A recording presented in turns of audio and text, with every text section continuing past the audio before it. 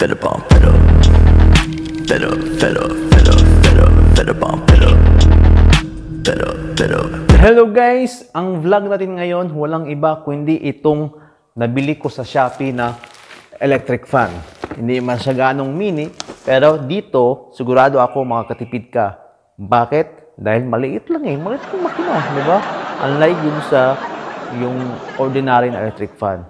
So, ang itsura nito, ganito guys. Ito. Easy lang ito i-assemble guys. Mamaya, tuturuan ko kayo kung paano mag-assemble. Ito, ang presyo nito, makikita nyo sa, sa screen. Bali guys, pang-anim ko na ito nabili na electric fan. Actually, napakamura nito dahil suwak sa budget, di ba? Guys, ipapakita ko muna kung ano yung mga nabili ko na electric fan. So, dyan muna. Ito yung isa na nabili ko sa Shopee. Itong mini electric fan with stand. 5 blades tayo. Yung disadvantage niya, dali na siya masira dyan. At saka dito rin, eh, kapag, halimbawa, kapag nabunggo siya dito, ang kadalasan niyan, yung dito niya sa likod, yan.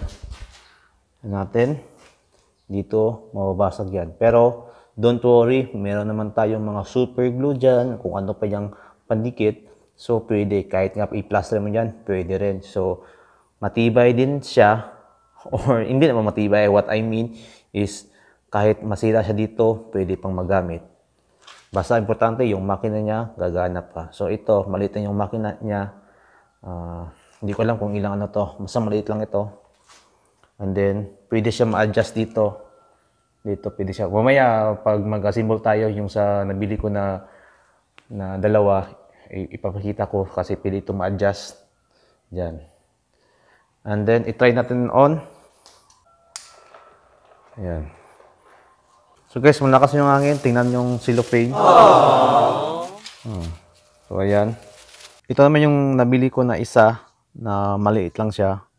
Maliit siya pero malakas din yung hangin. Actually, mas malakas pa ata ito ah, konti kaysa dung sa isa. So, tingnan natin kung ilang inches. So, yung blades niya nasa ano lang, 5 inches lang, no? So, try natin i-on. Ayun, yun. So, ito guys, hindi kasali yung stand niyan. Ah, kaya nga mura ito, 124 pesos lang ata. So, ganun oh. Tingnan nyo yung hangin. Malakas. O pwede na ito sa isa o dalawang tao. Same lang din sa isang nabili ko. 6 inches lang to. So, lamang ng 1 inch. So, 5 blades din. Ito yung sinasabi ko sa inyo guys na ito, ito, mad- madaling masira ito sa likod. Pero pwede pa rin nilagyan ng ah, stick glue. So doon ano, so malakas pa rin yung hangin. Try natin i-on. Ito guys, ah, malakas pa rin yung hangin, no? So ayan. Ayan, silupin natin, malakas. So swak na swak ito sa mga nagbo-boarding house o nag-dorm. So, lipat naman tayo sa isa. So, guys, ito yung isa. Ah, same pa rin ang itsura. So, ganun pa rin yung ano niya, no? Yung dito. Kasi, lagi siya mababangga dyan sa mga table dyan, kung ano pa. So, madali siyang mabasag. Pero, ah, okay naman eh, kasi pwede siya lagyan ng stick glue. Ga- ganun pa rin, 6 pa rin. I-on natin. Ayan. Guys, malakas siya, guys. So, guys, unboxing natin.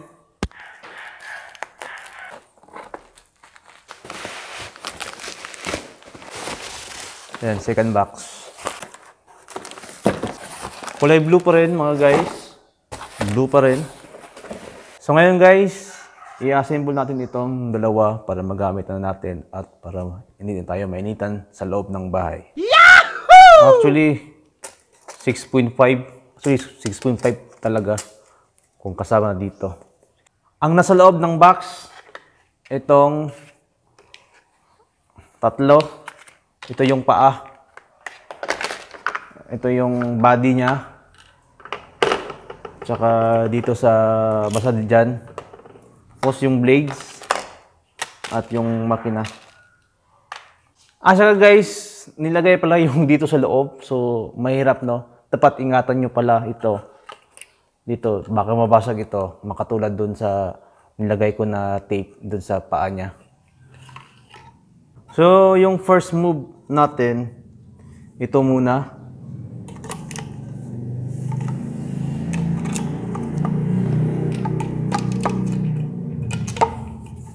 Ganito.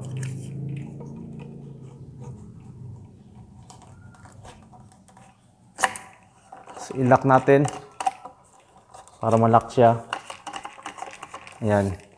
Ito yung sinasabi ko guys na pwede siya ma-adjust.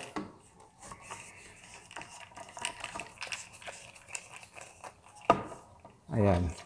Hindi na siya bababa. Kung gusto mo na ipataas, ayan, tapos higpitan, ayan, para hindi na siya bababa. So, gawin mo natin para makita sa video, ibaba muna hanggang dyan. And then, ito, i-open natin. Make sure merong ano dito. Ah, ito, meron siyang bolt. Saka meron siyang mga carton. Ano, may carton. Yan, i- ito ata para hindi siya ah, maingay. So, lagay lang natin dito. Ganon. Lagay siya dito. Ito ba? Yan.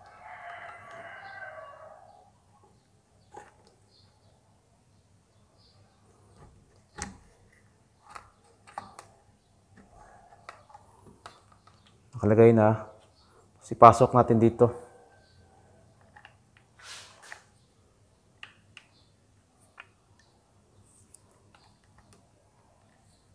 Yan. Pasok mo dyan.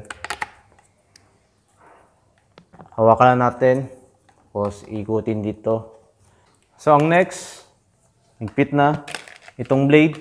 Itong blade guys, madali lang. Papasok mo lang yan. Yan no. Pasok natin.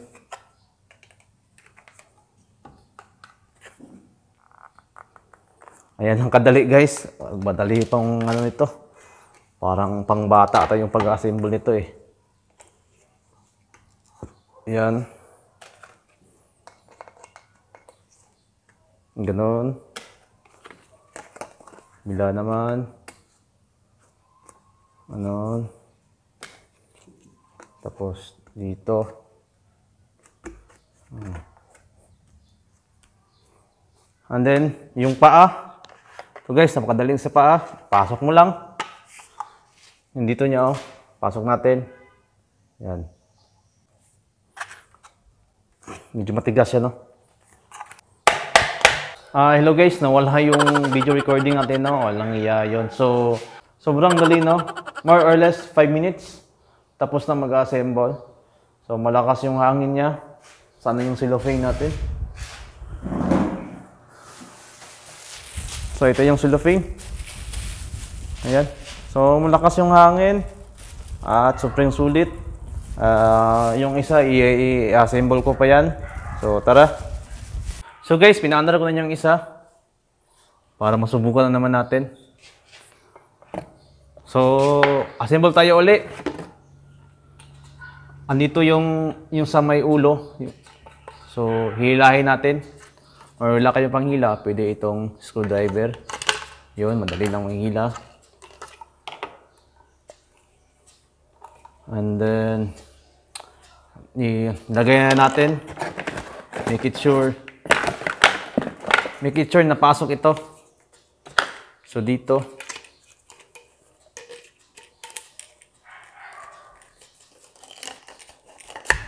Yan. Bisa natin. At dito.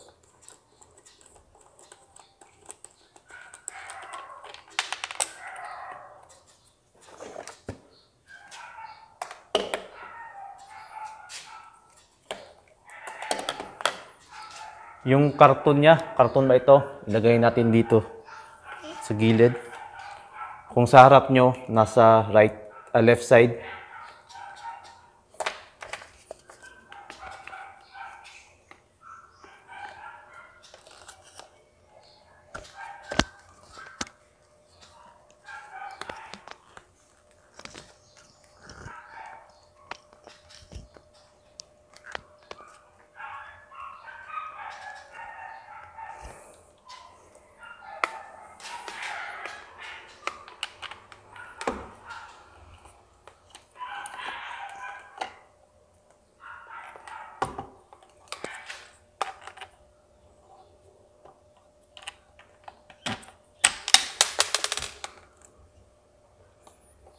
Ipasok.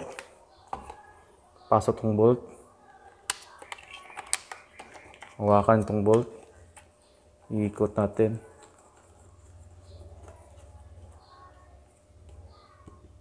Hanggang malak. Taas natin.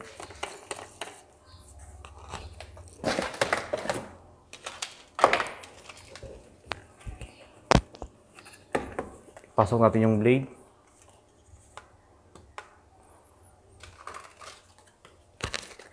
Pasok naman.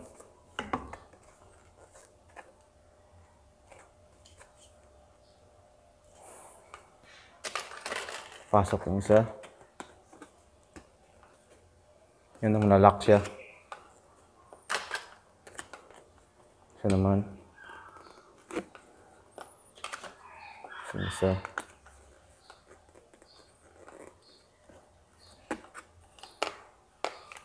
Yung paa. Push natin itong block para hindi siya nung magpas dito. Push natin yan. Para madali lang ipasok. Sikik pa si guys, si Virgin pa.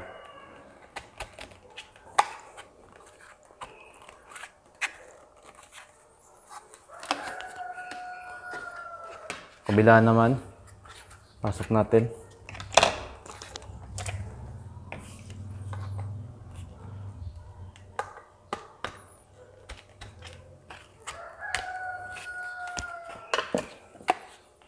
Yung lock.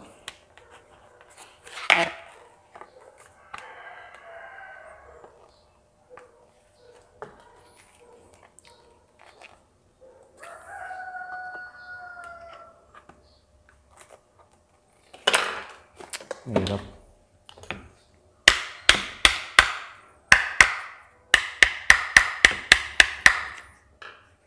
So guys, ang gawin nyo para pumantay siya dito kasi mahirap yung ipasok. So, ganoon mo lang. Papasok siya. And then, hmm, mahirap pumasok eh.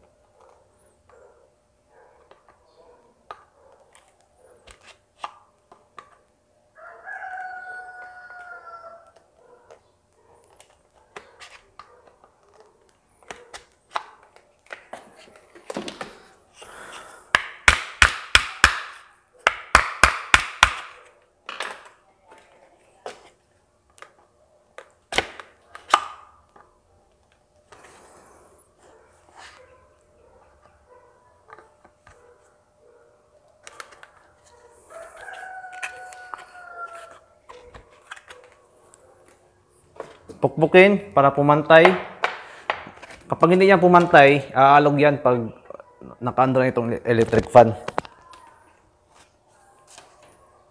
Kung meron kayong martilyo o yung may rubber na hammer, maganda yon.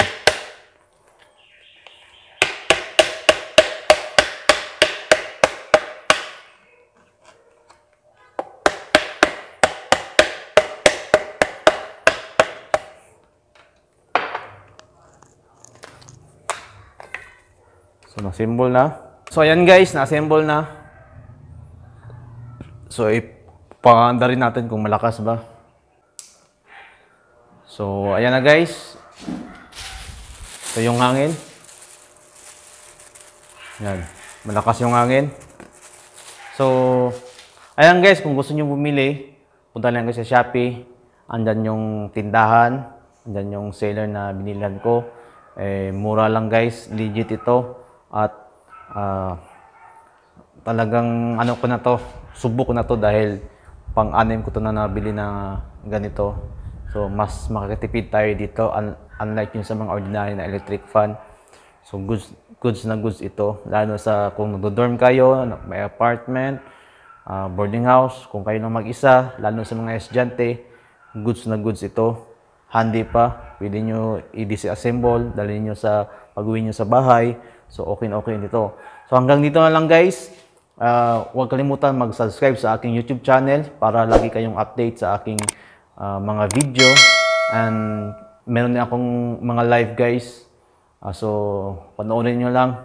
So, bye-bye.